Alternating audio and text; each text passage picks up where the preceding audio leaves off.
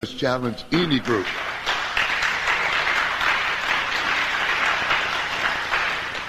We must challenge any group that threatens to constrain our freedom and threatens to exploit us. And that does not include any other group.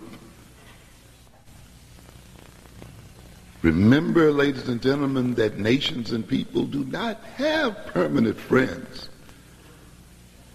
They only have permanent interest.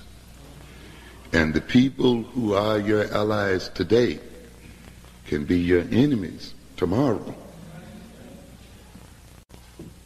And we, and you must keep that in mind because there's some of us who are deceived in this direction as well.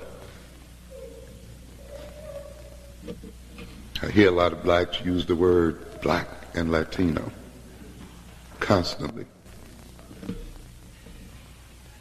We are related, yes, but there are also differences. And these differences can be exploited at different times. Some of you, if you looked at 13 last week or so when they were running a series of programs on uh, the Spanish in America, you might have seen one particular program open up that says, we, we will no longer help the blacks in Los Angeles.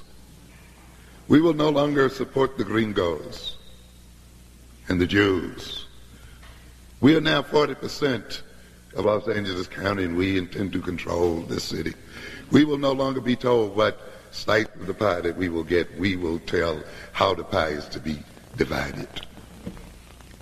You must come to your realistic sense. Nations and people do not fall in love. They do not marry each other. Because see, we have some foolish people out here who look at their personal relations with white folk. And they have good white friends. And I'm not doubting the sincerity of the friendship. Not at all. Not at all. I do not doubt that blacks and whites can be truly friendly. And we should be friendly as people. And I don't see any problem with having those friends, you know.